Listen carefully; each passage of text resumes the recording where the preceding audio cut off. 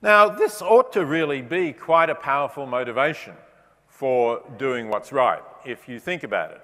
If you really believe, try and put yourself in the state of mind of somebody who really believes that if you do what's right, you will be uh, eternally rewarded in a blissful state in heaven, um, and if you uh, do something seriously wrong, you will be punished forever after in hell.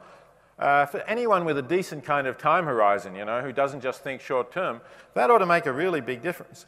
And it is actually, I think, psychologically interesting, says something about human beings, that um, it doesn't seem to make a difference when you compare the behavior of religious people and non religious people.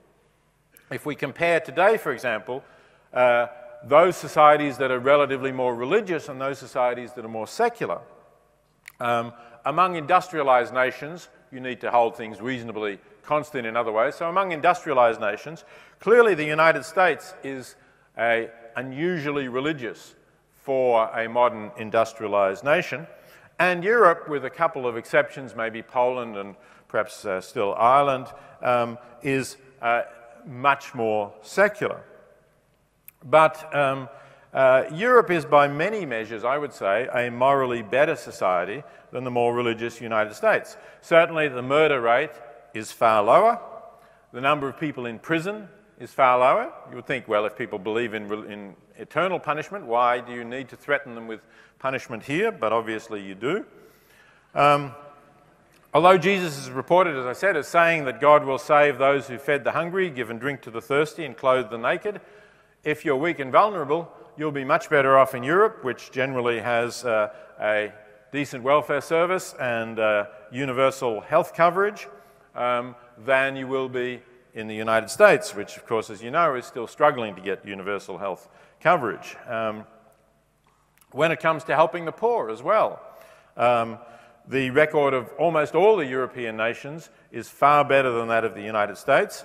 Uh, for example, Sweden, which is a relatively secular society, gives about four times as much in proportion to its gross national income as the United States. The United States has the highest juvenile, um, uh, uh, juvenile um, mortality rates, that is, uh, death for, for young people, and um, uh, pretty much the shortest lifespans. It has the highest abortion rate, despite uh, opinion against abortion being much higher, according to uh, polls um, uh, highest abortion rates among democracies where abortion is legal, of course, and uh, the highest sexually transmitted disease infection rates and the highest teen pregnancy rates as well.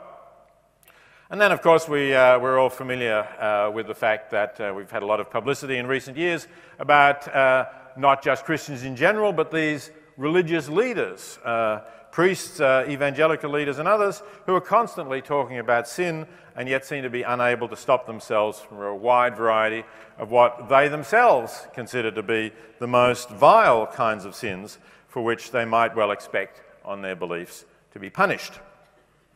So you have to assume that belief in hellfire is really not very efficacious in controlling behaviour.